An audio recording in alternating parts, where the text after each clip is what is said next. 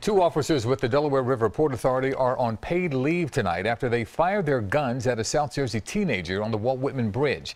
Police say it happened after the teen crashed a stolen school bus and then confronted the officers with a knife.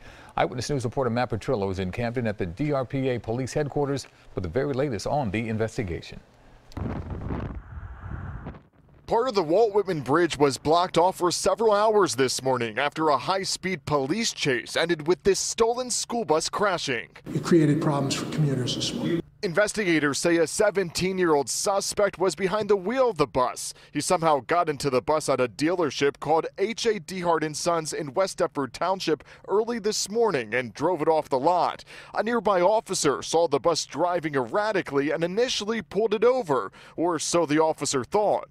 My officer went to make contact with the driver. As he was getting out of the vehicle, the bus drove away, uh, continued at high rates of speed, driving erratically on 295 northbound. Police say the teen driver was traveling at least 80 miles per hour, so West Deptford police stopped their pursuit. Moments later, the $60,000 bus sped onto the Walt Whitman Bridge and slammed into a guardrail. That's when the teen, wearing a mask, got out of the bus while wielding a knife. He was holding the knife. He walked towards the officers. They uh, backed up.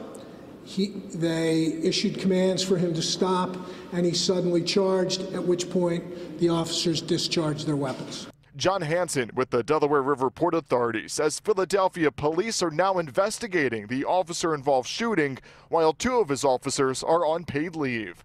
The officers discharged the weapon in order to prevent themselves from being attacked by an individual with a knife. And authorities wouldn't release the names of those two officers or that 17 year old suspect, but that teenage boy is over at Children's Hospital of Philadelphia in stable condition. He's expected to face serious charges. In Camden, Matt Petrillo, CBS 3 Eyewitness News.